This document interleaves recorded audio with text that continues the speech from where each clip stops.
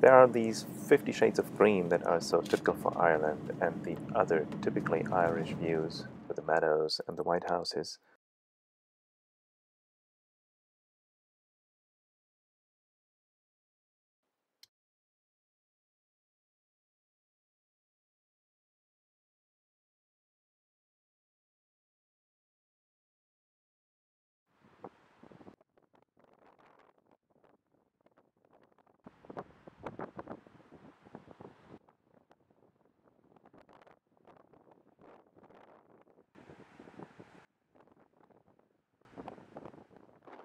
The Skellig Islands, which give the Ring of Skellig its name, can be seen on the horizon, sometimes disappearing in the mist.